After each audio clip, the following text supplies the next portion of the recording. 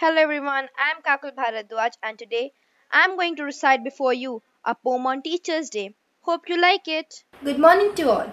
A very happy Teachers' Day to all the teachers who have been with me from childhood till today. Today I would like to present before you a poem Teachers' Day to thank you for all your support. Here I begin with the poem Why God Created the Teachers. When God created teachers, He gave a special friend for us to understand His world and truly comprehend the beauty and the wonders of everything we see, to become better person with each discovery.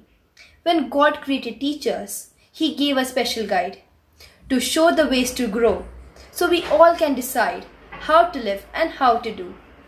What's right instead of wrong. Lead so we can lead and learn how to become strong. Why God created teachers, in His wisdom and grace, was to help us learn to make this world a better and wiser place. Thank you. A very happy Teachers' Day.